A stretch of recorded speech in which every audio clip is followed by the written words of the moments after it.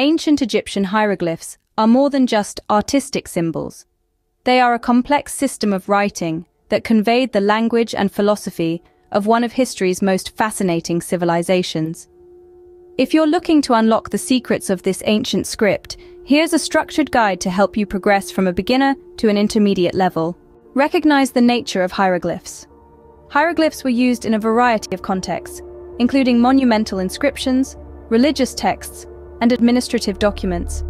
They can represent sounds, concepts, or even entire words. Learn about Gardiner's sign list.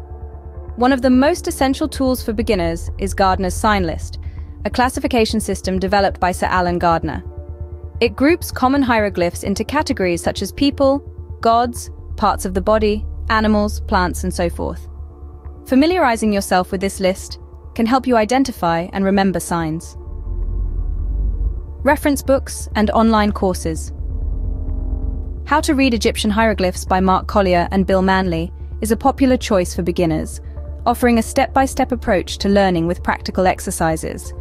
Middle Egyptian, An Introduction to the Language and Culture of Hieroglyphs by James P. Allen, is more detailed and suited for those who wish to delve deeper, good for transitioning to an intermediate level.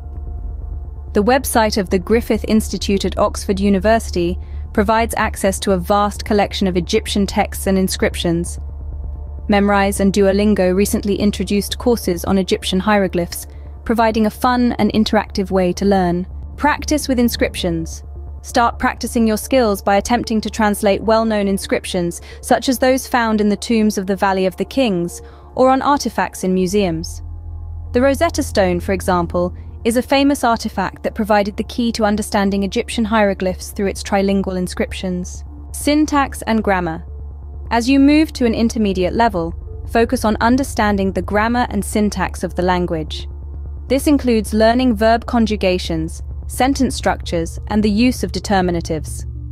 Academic journals and conferences.